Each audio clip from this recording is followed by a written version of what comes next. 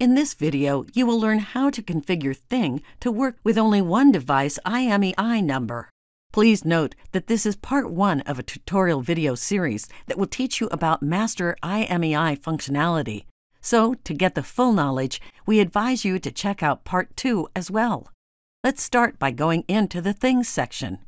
Please find a thing from the list that you would like to restrict to be used with only one device IMEI and press on the thing name. When the Thing menu opens, in field IMEI, you can see your last used device IMEI number. If you want, you can use this IMEI in this configuration. In the Master IMEI field, please enter a device IMEI that you would like to be the only one allowed to use this SIM card. When you have entered IMEI into the Master IMEI field, please click on Lock Master to enable this functionality.